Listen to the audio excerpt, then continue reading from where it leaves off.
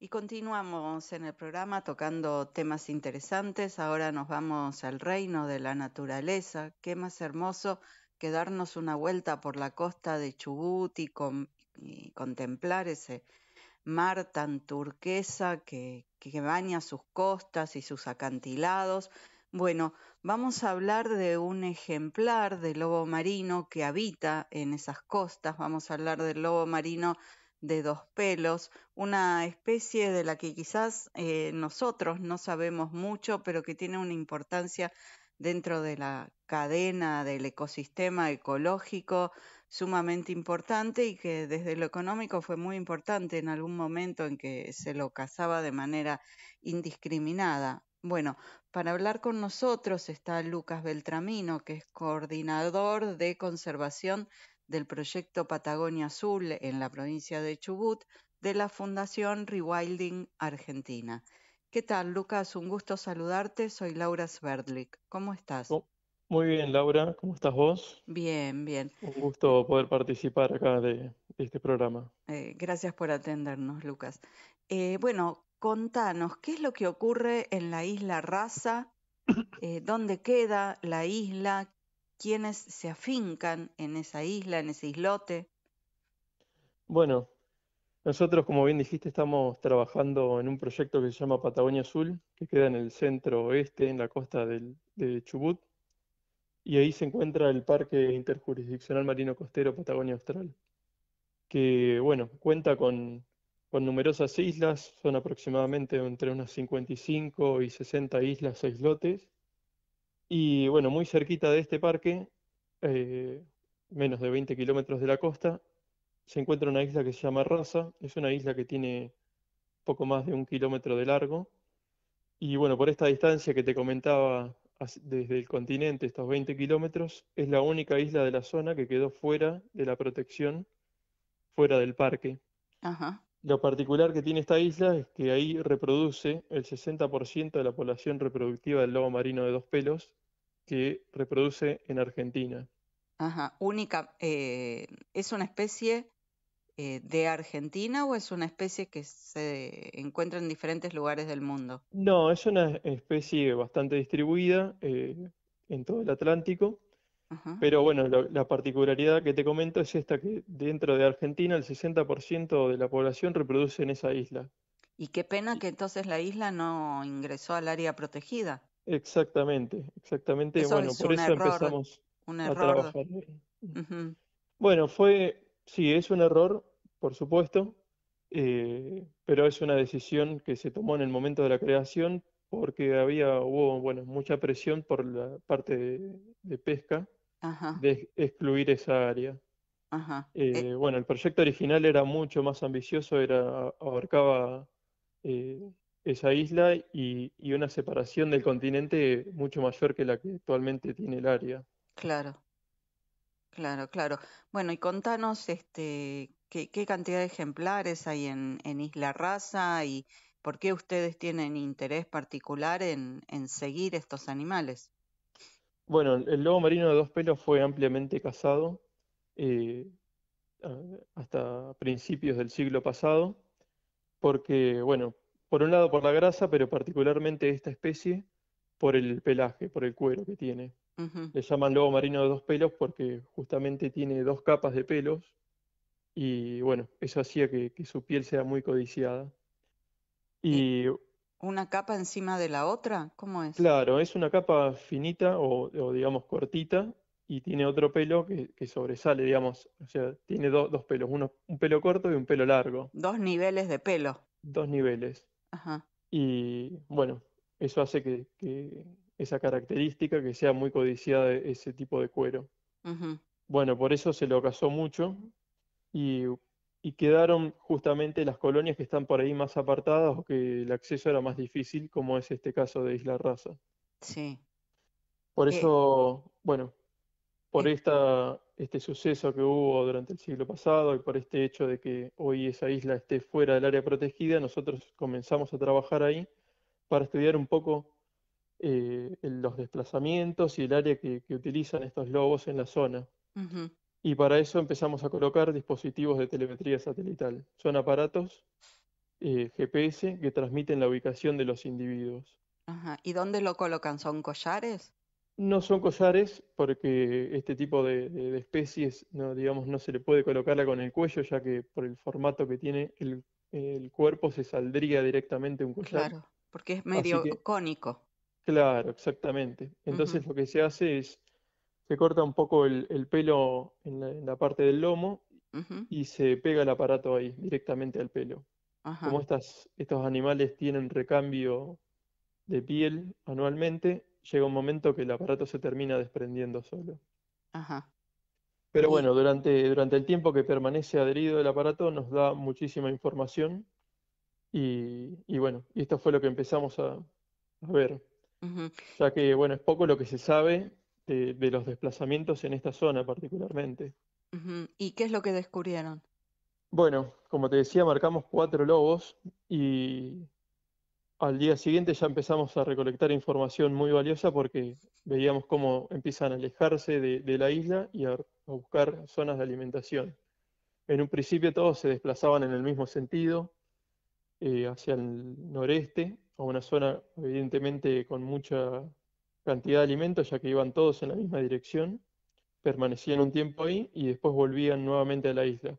Pero hubo dos casos particulares que llamaron mucho la atención nuestra. Uno fue eh, una loba que se dirigió para el lado de Santa Cruz. eh, en línea recta fueron 457 kilómetros, que hizo en, en menos de una semana. Ajá. Y se dirigió a una colonia que se encuentra en Santa Cruz, entre Puerto Deseado y Puerto San Julián. Lo cual nos empezó a mostrar que hay una conexión entre las colonias eh, de, de esta especie. No es algo que, digamos, no tenemos esas fronteras que uno imagina en el continente, ¿no? Claro, no, o, el contacto entre los animales. Me, me sorprendió cuando leí la información que me enviaron. Eh, ¿cómo sabe el animal que a 457 kilómetros hay este, congéneres o animales de la misma especie? Tal cual, la verdad que es muy sorprendente porque, sobre todo por la decisión o, o la dirección, digamos, van como si uno supiera exactamente y que debe ser, ¿no? Que deben saber exactamente qué es lo que hay ahí ¿Y a dónde ir? y a dónde ir. Y después volver, porque no solamente fue hasta esta otra colonia, sino que después retomó o retornó a Isla Raza. Ajá. Bueno, y no fue el único caso sorprendente, sino que tuvimos uno aún más, si, si te parecía mucho ahí. Otra de las, de las lobas que marcamos se dirigió un poco más lejos, este, en este caso hacia el norte. Fueron 1400 kilómetros hacia el norte, en línea recta te estoy hablando, ¿no? Si Sí. uno empieza a ver el desplazamiento fue mucho más. Y se dirigió a la colonia más grande de esta especie que hay en Sudamérica, o bueno, en el, en el Atlántico, que se encuentra en Uruguay. Y la verdad que nos quedamos muy sorprendidos ahí, no solamente porque fue, sino también porque, porque retornó nuevamente a Isla Raza. ¿Y cuál Bueno, sería, cuál sería el objetivo de ir hacia las otras colonias? Porque indudablemente no es alimentarse. Bueno, eso es lo que, lo que estamos un poco investigando, porque uno esperaría que si te vas a, bueno, no, si te vas, estoy hablando como si fuésemos lobos nosotros, ¿no? Sí. Que si un, si un individuo se desplaza hasta una colonia así más importante, se va a quedar ahí. Pero Sí. bueno, no, no fue el caso en este, en esta situación. Entonces, bueno, es un interrogante que nos queda a nosotros como para seguir investigando si fue solamente un caso particular, si es algo común, si, es- si esta conexión entre, colonias es más común de lo que esperamos. Y bueno, es todo, son todos datos muy interesantes porque nos abren esta, en estos interrogantes o nos llevan a pensar en esto de, las fronteras que nosotros trazamos en el continente que no existen en el mar, de esa conexión entre colonias. Y bueno, y nos abre a un llamado de la necesidad de, de crear más áreas protegidas marinas. ¿no? Para, para que estos, para que estas especies, no solamente el lobo marino, sino eh, otras especies de, de lobos, de ballenas, de elefantes marinos, estén un poco más protegidos donde pasan la mayor parte de su tiempo, porque uno los ve ahí en la tierra, pero es una pequeña porción de su vida la que pasan en la tierra. Son especies que requieren del mar, que requieren los mismos recursos que, va a buscar la, pesquería. Entonces hay una competencia ahí que están teniendo con nosotros y bueno, surge esa necesidad de crear áreas donde puedan, digamos, desarrollar su, su vida, obtener los recursos que necesitan para, para mantenerse para prosperar estas colonias. ¿La población en, en esta colonia de Isla Raza está disminuyendo o aumentando?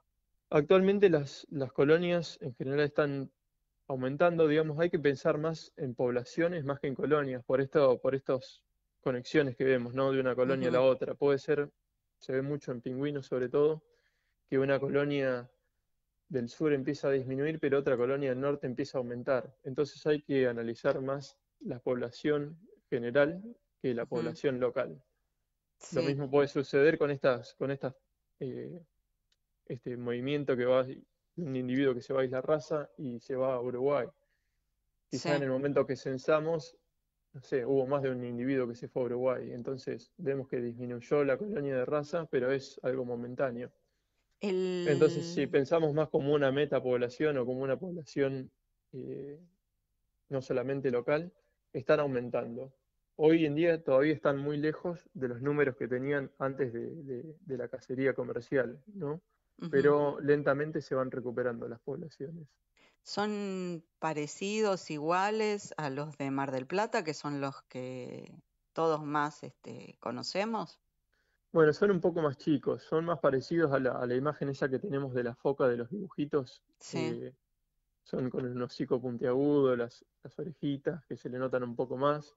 Son, esta especie es un poco más chica que el lobo marino de, un pelo, y particularmente allá en Mar del Plata creo que la mayoría de los que se ven son machos, entonces si los comparamos sí, son bastante más chicos, una coloración más grisácea, no tan marrón. y, bueno, evidentemente nos siguen teniendo, siguen teniendo miedo al humano, entonces eligen lugares de, difícil acceso para nosotros. Bien. Em, ¿Se puede acceder a esa isla? ¿Hay este, no sé, algún circuito turístico? No, particularmente esa isla no se puede acceder, de hecho es una navegación complicada hasta la isla, pero sí en la misma zona hay dos colonias más de esta especie, que son lo que llamamos apostaderos, son lugares donde la reproducción no es tan importante, se congregan las eh, digamos, los individuos, pero no son tan importantes para la reproducción como es la raza.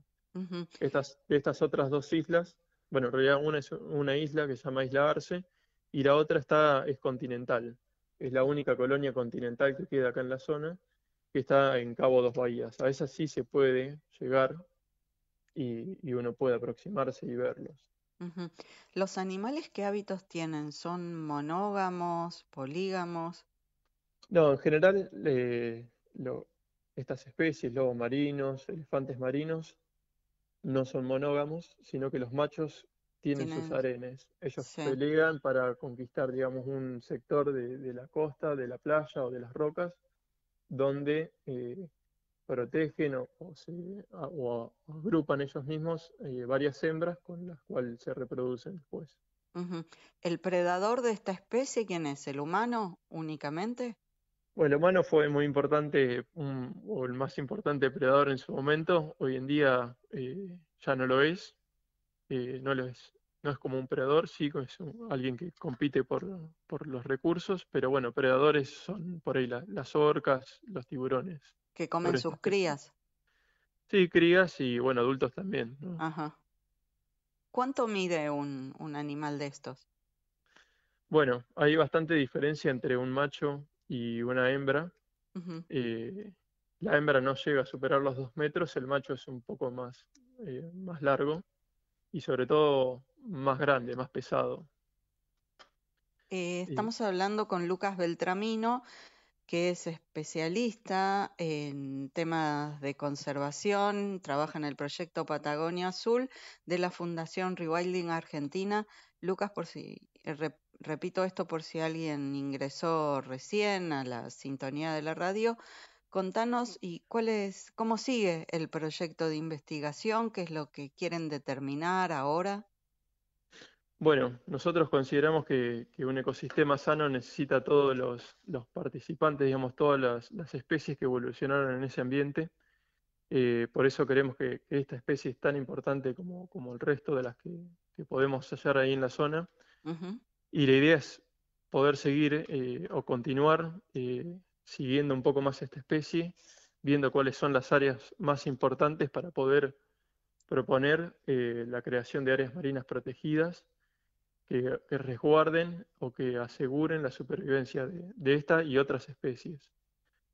como te decía, esa, la zona de Patagonia Azul donde estamos trabajando no solamente es el lobo marino de dos pelos el que está, empezamos a, como, bueno, como tenemos mucha presencia en la zona y eh, la recorremos semanalmente, también pudimos empezar a, hacer avistajes de, varias especies de ballena que no estaban por ahí tan registradas como habituales, como estamos viendo que, son, como la ballena jorobada, no solo la ballena franca, que, es la que se ve por ahí en, Puerto Madryn, ballenas minke, ballenas eh, sei, Es una zona particularmente muy rica en alimento y eso atrae muchas especies marinas eh, que, bueno, requieren su protección. Así que en eso estamos trabajando, tratando de crear estas áreas marinas protegidas, pero también eh, poder crear eh, conciencia y, y, favorecer o incentivar a las economías locales para que puedan dedicarse al turismo de naturaleza y así proteger aún más este, estos grandiosos recursos que tenemos en la zona.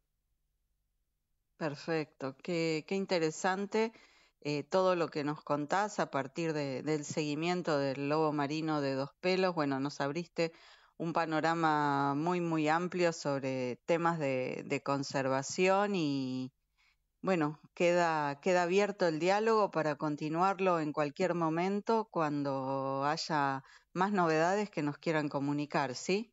Por supuesto, por supuesto, te agradezco mucho esta oportunidad, esta difusión que hacen ustedes y la verdad que es un trabajo que, nos encanta y que hoy necesitamos, así que por supuesto estaremos en contacto para poder seguir ampliando y contando un poco más de este proyecto. Muchísimas gracias, Lucas Beltramino, de Proyecto Patagonia Azul, Fundación Rewilding Argentina, por habernos enseñado tanto respecto de una especie, un lugar, su medio ambiente, sus hábitos. Bueno, temas que para todos los que vivimos en una ciudad o estamos alejados de estas cuestiones, la verdad son muy interesantes y muy novedosas. Muchas gracias y hasta la próxima. Bueno, muchas gracias a ustedes también. Adiós, adiós.